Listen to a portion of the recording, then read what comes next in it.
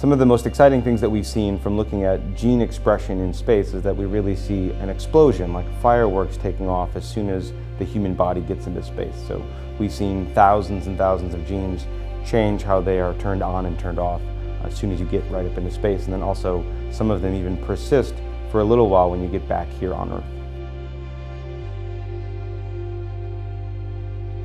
The twin study actually represents perhaps the most comprehensive view of human biology which we'll need when we start to go to even further places like Mars or longer missions that last deeper into space.